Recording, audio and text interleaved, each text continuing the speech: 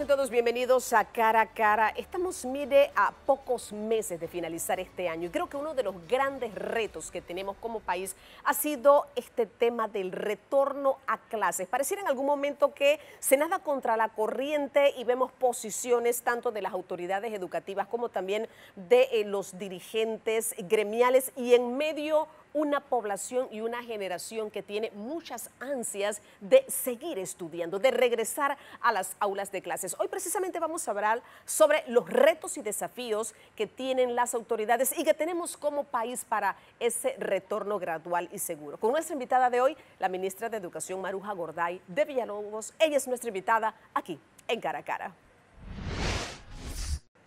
Ministra, muchísimas gracias por estar con nosotros en Cara a Cara. Mire, hablemos un poco de cifras, porque yo creo que partiendo de aquí vamos a poder saber dónde estamos y qué es lo que queremos. Eh, usted daba como eh, jefa del Ministerio de Educación una cifra y decía, eh, me gustaría llegar a final de año a la meta de por lo menos el 60% de las más de 3.933 escuelas que hay. ¿Cómo vamos en este momento, ministra? Porque hemos visto un escenario de alguna manera un poco complejo. Hablemos un poco sobre esa cifra. ¿Cómo estamos en este momento para ese retorno a clases? Sí, bueno, muchas gracias Dorcas y definitivamente eh, hay cifras esperanzadoras, yo creo que eso es lo más importante eh, en medio del escenario eh, que hemos vivido, no solo el sistema de salud, sino el sistema educativo. En ese plan de retorno nosotros llevamos a la fecha el 57% de centros educativos abiertos y yo quiero aprovechar este espacio para hacer docencia. Nosotros hablamos en algún momento de tutorías, semipresencialidad, Obviamente nosotros estamos manejando el concepto de centros educativos abiertos. En ese centro, en ese plan de retorno que avaló su comunidad educativa, hay diferentes modalidades de interactuar en la escuela.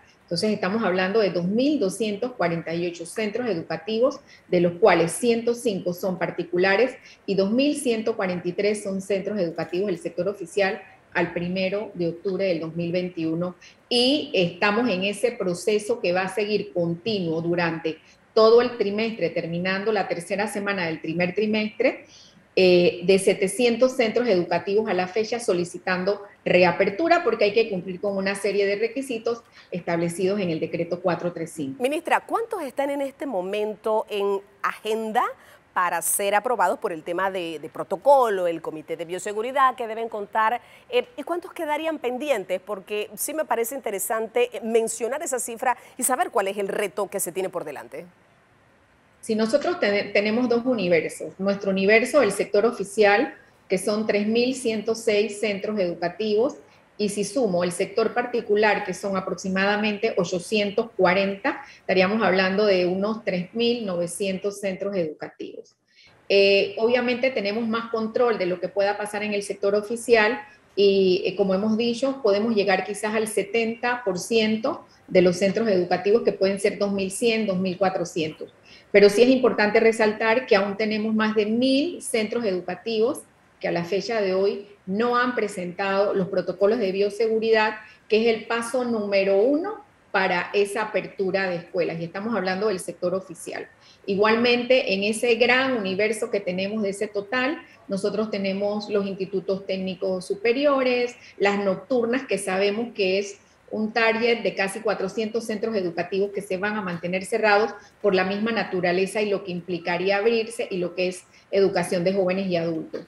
En este momento son 700 que ya iniciaron el proceso y que creemos que al 15 de octubre nosotros podemos llegar a unos 2.600 centros educativos abiertos, manteniendo esa proyección de un 60% de centros educativos ya, ofreciendo diferentes modalidades alternas, pero con las escuelas abiertas y los niños vinculados, los estudiantes, a sus aprendizajes y todo lo involucra la parte socioemocional, la alimentación, la nutrición escolar, la salud escolar y lo que se genera en un entorno abierto de escuela. Me gustaría saber de esas mil y tantas escuelas que no han abierto, eh, porque hay un tema de gremios, algunos han dicho, no, es que no, las escuelas no están bien preparadas, nosotros no vamos a regresar en el caso de los docentes o porque haya falencias. Hombre, y estas falencias muchas veces han venido ya desde antes de la pandemia, el tema de eh, falta de agua, de otros recursos. ¿Cuáles son esas características, ministra, que más influyen para que esas escuelas no hayan reabierto sus puertas? Y mira, hay un, hay un elemento muy importante y quizás eh, no se conoce, que es la voluntariedad del padre de familia. Yo puedo decir hoy responsablemente que de las encuestas generadas, prácticamente un 50 por, un 50-50, un 50 quiere mandar a los niños a la escuela y retornar sus actividades 100% y otro quizás con algún temor, alguna preocupación, alguna reserva. Y ahí es donde eh, uno de los principales elementos. Lo otro, sí también, y yo creo que no, no es una noticia que no se conozca, nosotros tenemos alrededor de 57 proyectos de gran magnitud en este momento eh, en procesos legales o suspendidos, sobre todo escuelas del nivel medio, escuelas que recogen una gran matrícula, escuelas de Panamá Centro, escuelas de Panamá Norte, escuela de Panamá Oeste, que precisamente la semana pasada hemos tenido que mediar con algunas de ellas, y eh, ahí también hay una gran cantidad de estudiantes que no han podido retornar porque las escuelas no están cerradas por la pandemia, desde mucho antes de la pandemia, pero hemos avanzado en ese proceso. Yo creo que eso es importante. Por el otro lado también, eh, tenemos que ver el tema de agua eh, con, con, mucha fineza, porque es lo que decíamos. Ejemplo, en el área de Panamá Este rural, ahí no hay agua en la comunidad. Entonces nosotros no podemos pedir a un retorno tener algo que no tiene la comunidad, sí generar los recursos para que llegue el carro cisterna, para que se organice la comunidad, para comprar agua, para tener el elemento en este caso, pero no decir, bueno, ahora queremos que la escuela tenga agua cuando no hay suministro de agua en la comunidad y eso lo estamos manejando con los líderes locales. Yo quiero aprovechar y, poder informar a la comunidad. Nosotros tenemos dos proyectos, uno de abastecimiento de tanque de cosecha de agua apta para consumo humano en 32 escuelas, de las cuales cinco ya lo tienen instalado y estamos hablando de escuelas donde no había posibilidad de tener agua no solamente para lavarse las manos u otras actividades, sino para consumo humano y se está logrando con un acompañamiento técnico de FAO, nuestra Dirección de Nutrición y el Viceministerio de Infraestructura, obviamente financiado con nuestro proyecto de mejoramiento de la calidad con el BID. Y por el otro lado, la instalación de 1.200 tanques de agua, de las cuales llevamos aproximadamente un 32% ya instalado, donde se ha hecho una transferencia a las juntas comunales y eh, se está generando economía local, se está también empoderando a los territorios y estamos logrando ese acompañamiento desde, desde quienes son los que deben cuidar el entorno educativo. Así que nosotros para marzo o abril del otro año debemos tener 1.200 tanques de agua instalados ya para garantizar la reserva de agua, para garantizar el tener agua a través de diferentes medios y poder contar con este vital líquido que no se tenía antes de la pandemia. Claro que sí. Mira, ministra, vamos a la primera pausa, pero yo creo que estos temas son importantes porque eh, mm, hay que ver el detalle. Aquí se ha dicho algo, regresar a las aulas, pero de forma segura. Si no hay eh, esa manera de comprobar que no hay seguridad para los estudiantes, pues difícilmente se puede eh, regresar. Me llama la atención algo que usted ha dicho, porque aquí el planteamiento ha sido, los educadores no quieren regresar a las aulas de clase, pero usted me está diciendo que un 50% de los padres de familia no quieren mandar a sus hijos por diversas razones, porque tienen temor, porque no se sienten confiados, etcétera. Me gustaría ver ese tema cuando regresemos de la siguiente pausa comercial. Otro tema que ha llamado mucho la atención ha sido este. Se da la apertura prácticamente de un 100% en nuestro país. Se levanta el toque de queda prácticamente a nivel nacional. El presidente da un anuncio, eh, firma un decreto que dice que hay un aforo del 100%, pero no pasa lo mismo o no se da esa directriz para el tema de las escuelas. Y yo creo que es importante mencionar que eh, Bangladesh Filipinas y se incluye a Panamá están dentro de los países donde ha permanecido las escuelas cerradas por mayor tiempo. No estamos hablando de América Latina, estamos hablando del mundo entero, una posición que preocupa. Vamos a hablar, ministra, de todos estos temas, pero lo vamos a hacer cuando regresemos de la siguiente pausa comercial. Acompáñenos, esto es cara a cara.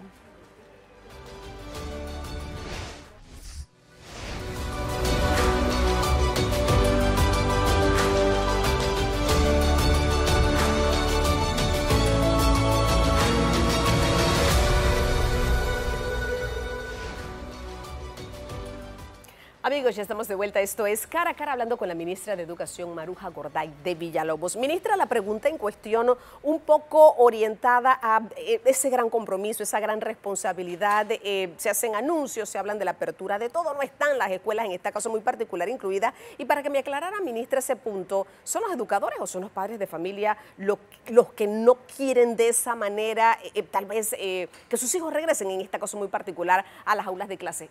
¿Quién se opone más entre estos dos grupos, padres de familia o docentes? Bueno, yo sí te puedo decir eh, que en nuestras encuestas obviamente hay una preocupación sobre todo para los niños menores de 8 o menores de 12 años y obviamente eh, no es un grupo que ha sido vacunado y bueno, conocemos toda la dinámica que esto implica. Esa es una preocupación real. Eh, por el otro lado, nosotros también tenemos una, un comportamiento especial en el sector particular que, que implica otros gastos que quizás eh, faltando 60 o 64 días para cerrar el año lectivo eh, generaría una serie de alteraciones. Pero yo sí quiero decirte, Dorcas, que nosotros estamos en la disponibilidad desde el mes de mayo, que por solicitud del señor presidente se anuncia la reapertura semipresencial y que a la fecha somos 16 países de la región que hemos llevado este proceso y lo hemos llevado progresivo escalado, obviamente no es igual, es desigual por los contextos eh, que estamos en esta, en esta situación y yo creo que lo más importante es el paso seguro. Esto no descarta la posibilidad de que si una escuela quiere aumentar la mayor participación de estudiantes y de tiempo en la escuela, lo pueda hacer y efectivamente muchas escuelas, y no solo de menor matrícula, sino de una matrícula regular, 200 o 250 estudiantes, están ya participando de prácticamente eh, la mayor cantidad de horas en el día, de hora clase, de hora horario y de días a la semana. Pero yo quiero resaltar que nosotros tenemos una variable importante nosotros bajamos de dos metros a un metro. Y si nosotros seguimos manteniendo un metro, obviamente la dinámica de la cantidad de aforo de estudiantes no va a ser la misma que si no la existiera. Eso por un lado. Por el otro lado, el consentimiento de los padres de familia, que es vital para nosotros.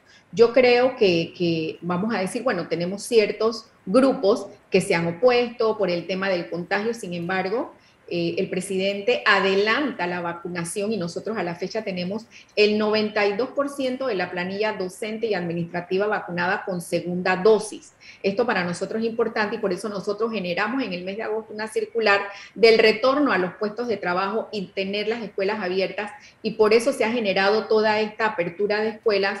Y sí quiero decirles, vamos en el mismo comportamiento que muchos países de la región en ese paso seguro. Yo creo que eso es lo más importante. Eh, estamos evaluando periódicamente con las autoridades de salud todas las situaciones que se pueden dar y, esa, esa apertura que se puede dar donde las escuelas están solicitando. A mí me llama, haga la nota que necesitamos aumentar de 10 de la mañana a 12, ¿cómo no? Se habla con el regional. Entonces ahora mismo tampoco es que hay un límite o, un, o una restricción, sino que ese es un comportamiento muy dinámico y muy contextualizado. No es lo mismo el área de la cordillera de la comarca que el área rural, que, era, que el área urbana, que el área agrícola. Entonces nosotros hemos sido muy flexibles en eso y yo quiero que quede claro eso, de que por eso se ha generado esta apertura de escuelas y que, y que, y que de acuerdo al plan de retorno que establece la comunidad educativa, que es la máxima autoridad, se están atendiendo a los estudiantes. Si queremos que abran más escuelas, queremos llevar al máximo quizás los horarios de clase y la interacción y estamos en ese camino, en esos sesenta y tantos de días que faltan para terminar el año lectivo. Eh, ministra, pero tal vez no, terminé de comprender eh, la respuesta específicamente a la pregunta. La titular de educación, eh, ¿a quién le ve más resistencia? ¿A los padres de familia o a los educadores? Y hay que ver aquí también, ministra, quién es el que tiene la última palabra en este tema del retorno a clase. Pero ¿a quién usted le ve más resistencia? No, los padres de familia no tienen resistencia. Yo no, yo sería muy injusta si yo doy ese calificativo. Tienen cierto temor, pueden tener quizás alguna desconfianza, estamos hablando de niños pequeños y, quién garantiza que el niño no se quite la mascarilla, entonces no es de confianza o resistencia en este caso. Y bueno, yo sí tendría que decir que hay ciertos sectores eh, eh, del sector educativo, gremiales, eh, que han tenido algunos cuestionamientos, pero eso no deja de, no dejamos de tener la oportunidad de tener el diálogo y nosotros seguir existiendo, porque yo sí tengo que dejarlo muy claro, la última palabra la tiene eh, el Ministerio de Educación, y nosotros estamos en ese acompañamiento para garantizar ese retorno, Dorcas. Eh, bueno, se lo digo, ministra, porque tal vez el mensaje eh, que percibe la población es que eh, son los educadores los que han marcado un poco la pauta aquí. se hizo un cambio en el tema de vacunación, ellos han dicho todavía, no están muchas escuelas, y por eso es que no se ha dado. Por eso le decía y le preguntaba que era importante aclararlo, y usted lo ha dicho, es el Ministerio de Educación quien tiene y debe tener, por supuesto, la última palabra. Ahora, me llama la atención algo, ministra, y me gustaría que me diera esta estadística, porque usted habló también de colegios particulares y decía que de 800, 100, 105 aproximadamente han podido entrar, el resto porque no tiene que ver con un tema de, eh, no sé, las mismas estructuras, eh, todo lo que implica para un eh, colegio privado retornar a clases. Es un poco por allí el tema de que ellos, hay 700 que todavía están sin dar clases presenciales. Sí es importante resaltar que de esos 700, quizás 400 sean escuelas de, adultos, escuelas laborales o institutos técnicos. Estamos hablando que las escuelas diurnas son aproximadamente 400. Sin embargo, eh, nosotros hemos mantenido ese acompañamiento con ellos a través de la Dirección Nacional de Educación Particular y todas nuestras regionales y me tocó visitar escuelas eh, al iniciar el tercer trimestre y me decían algunos directores, de 200 profesores en mi planilla me quedé con 75 o de 100 me quedé con 25 o de 2.000 estudiantes me quedé con 1.000. Entonces yo creo que es una dinámica vinculada también al, área presupuestaria y muchas escuelas, eh, yo me atrevo a decir con información que tengo de la Dirección de Educación Particular, entre el 60 y el 70% realizaron rebajas de la tarifa. Y posiblemente diríamos, no, pero son rebajas irrisorias, pero 30 dólares por 10 meses son 300 dólares. Entonces, me decían muchos padres de familia también, eh, bueno, además de todo el tema de la vacuna, es la reactivación de los contratos, de los usitos colegiales y todo lo que implica, faltando dos meses, generar eso, pero a las escuelas se les está dando el apoyo, en cambio hay otras que decidieron eh, mantener el distanciamiento un metro y han llevado prácticamente a su capacidad a, la población estudiantil y a su matrícula. Y nosotros hemos sido muy respetuosos porque obviamente la situación económica ha impactado severamente el sector particular. La prueba está que en este año lectivo han, migrado al sector oficial más de 14 mil estudiantes que hemos dado espacio, obviamente por ser estudiantes panameños, por tener derecho a la educación y que eso también se convierte en un gran reto para nosotros en una apertura total para el año lectivo 2022. Claro que sí, 14 mil han migrado de las escuelas particulares a las públicas, es decir, 14 mil sillas más en espacios de repente donde no existe en este momento o no ha existido antes de la pandemia por un tema de capacidad y demás. Ahí hay un gran reto, ministra. Mire, vamos a ir a la siguiente pausa, pero había una evaluación y una petición también de estudiantes graduandos de, de, querer tener esta ceremonia. Usted decía, estamos evaluando, estamos analizando el tema. Ministra, ¿habrá respuesta para ellos ya? Usted decía, desfiles no, pero sabe que mire que en Boquete sí van a realizar un desfile navideño aprobado porque obviamente hay algunas condiciones que se les permite. ¿Qué decisión estará tomando en este momento el Ministerio de Educación sobre el tema de graduaciones? Ministra, su respuesta cuando regresemos de la siguiente pausa comercial. Acompáñenos, esto es cara a cara.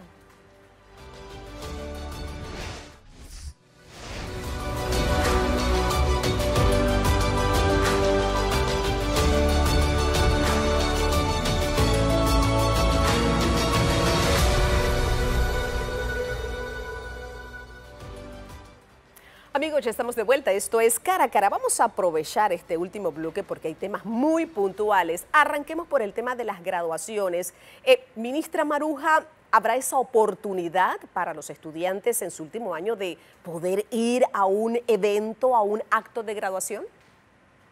Sí, va a haber la oportunidad. Sí, va a haber la oportunidad y bueno, estamos ya oficializando la información, obviamente con todas las medidas de seguridad. Sin embargo, tengo que decirte así como te hablo también de, ese voluntariado de ir, tenemos muchas escuelas ya eh, que nos han dicho que por lo que, los gastos que implica una graduación presencial se van a mantener como el año pasado y eso lo vamos a respetar. Aproximadamente el 20% de los más de 136 escuelas del sector oficial del nivel medio han dicho que se van a mantener y van a hacer las graduaciones virtuales. Ministra, pero, a ver, esto es una primicia que usted nos está dando, entonces en este momento sí habrá graduaciones para todos aquellos que, me imagino, ministra Maruja, con algunos requisitos, algunas medidas de bioseguridad, eh, puedan asistir a este acto. Creo que es una gran noticia para los graduandos. Sí, sí, sí, siempre y cuando las condiciones así lo permitan, porque el año pasado habíamos planificado algo para noviembre y y sabemos lo que, lo que pasó en diciembre por el comportamiento no muy adecuado que tuvimos los panameños. Entonces es importante resaltar que todas las medidas que se van dando, que van generando oportunidades en el sistema educativo, van a depender siempre del comportamiento epidemiológico y las directrices que nos den las autoridades de salud para nosotros tomar la decisión. Así que por ahora se mantienen con los protocolos de bioseguridad y obviamente respetando todo lo que se ha normado en relación a eso, ya se van a generar los acercamientos con las direcciones regionales y vamos a iniciar esa planificación. Oiga, hábleme un poquito sobre el calendario escolar 2022. ¿Hay ya eh, eh, algo puntual, ya algo oficial también con este calendario? Nosotros para la semana del 20 de octubre ya debemos estar eh, dándolo a conocer oficialmente. vamos a tener algunas reuniones de coordinación con gremios, con padres de familia, con el sector particular. nosotros quisiéramos extenderlo, y no por extenderlo, sino para aprovechar el tiempo y también para tener cualquier contención que se pueda dar de pandemia o de cualquier otro tipo. Y estamos iniciando una vez culmine la semana de carnavales, creo que es entre el 2 y el 3 de marzo, con una extensión de alrededor de 192 días, terminando a finales prácticamente 23-24 de diciembre, con los tres trimestres, obviamente con el espacio del programa de recuperación académica que sigue siendo eh, un requerimiento para poder nivelar a aquellos estudiantes que quedaron reprobados, aplazados en algunas asignaturas y poder nivelar y lograr ese, esa promoción al grado siguiente y sobre todo graduando.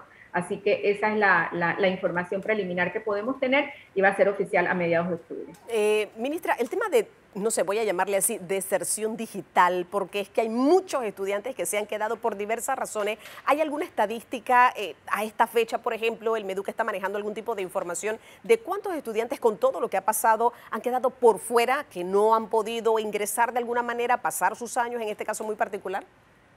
Gracias, Dorcas, por la pregunta y es importante eh, informar a la comunidad. En el año 2020 no se vincularon 14.000 estudiantes cuando hablamos de vinculares que iniciaron el, proceso escolar, la matrícula, estuvieron uno o dos trimestres y no pudieron culminar. Para tal efecto, nosotros hemos diseñado la estrategia de aprendizaje acelerado, que es la recuperación de dos ciclos escolares en un año lectivo. Y para este proyecto tenemos 11.140 y tanto de estudiantes que ya están en su segundo ciclo escolar recuperando y garantizando esa trayectoria. Y te pongo un ejemplo sencillo. En IPT Silencio de Changuinola estuve la semana pasada y vimos 700 estudiantes de más de 15 escuelas satélites del área, estudiantes de Guavito, estudiantes de la frontera, que inclusive no fue que en el 2020 tenían algunos hasta dos años de no poderse haber vinculado a la escuela o no haberse matriculado y están recuperando. Lo vi eh, hace dos días en la escuela Pedro J. Sosa, donde niños están recuperando tercero y, tercero y cuarto. Y esa es una política de equidad que debemos mantener para garantizar la trayectoria, o sea, garantizar quedarte en el grado, pasar al que te corresponde y pasar al nivel para luego terminar. Nosotros tenemos una caída de cobertura grande después de los 12 años y eso va a ayudar muchísimo a retener y a poder guardar la vida de los estudiantes, porque de eso se trata. O sea, los estudiantes no se están quedando en su casa, ni vamos a decir es un desertor más o no, porque un desertor tiene rostro, tiene corazón, tiene vida, y ese desertor no va a tener las mismas posibilidades que otro que sí culminó el, su ciclo escolar. Claro, ministra, y en el tema de desfiles, bueno, ya usted había dicho no, hoy nos enteramos, eh, graduación sí, ¿habrá algo que cambiará en este caso muy particular? Si nosotros estamos en la Comisión Nacional de Bicentenario, coordinada por el ministro de Cultura, y hemos estado en reuniones con el ministro de Salud, eh, definitivamente eh, se han dado las directrices que por ahora, al día de hoy, no va a haber desfile como tal, pero sí van a haber exhibiciones de bandas musicales, de tambores de guerra y de algún otro tipo de, de actividad, sobre todo fortaleciendo nuestro bicentenario como país. Y para eso estamos organizando a nivel regional la ubicación de algunas sedes, de algunos coliseos, de algunos espacios eh, que contengan y que se puedan garantizar eh, esa circulación de personas y ese aforo para presentaciones de banda. Obviamente van a haber requisitos de que las personas tienen que estar vacunadas. Sin embargo, también sabemos que hay una población menor de 12 años que tendríamos que buscar actividades también para que disfruten ese fervor patriótico. Así que eso también está ya, eso se estará publicando quizás la otra semana de manera oficial ese calendario y los lugares donde se van a desarrollar los distintos eventos en alusión a nuestro Bicentenario de la República. Ministra, muchísimas gracias por habernos acompañado en cara a cara. Oye, nos ha dado datos interesantes, varias primicias. Mira, el tema de graduaciones, el calendario escolar del próximo año y en este caso muy particular, no habrá desfiles per se, pero sí existirá esta presentación de bandas y sabemos cómo se entusiasman los muchachos cuando vienen estas festividades patrias que son importantes, sobre todo resaltando el bicentenario, como lo dice la ministra. Ministra, muchísimas gracias. Todavía hay grandes retos, obviamente. Estamos a punto de finalizar otro año, pero eh, yo creo que es importante destacar el esfuerzo, estrategias que se quieren hacer para que los jóvenes, los niños, los menores puedan regresar de forma segura y paulatina al aula de clases. A la ministra Maruja Gorday de Villalobos, Mil gracias por habernos acompañado aquí en Cara a Cara.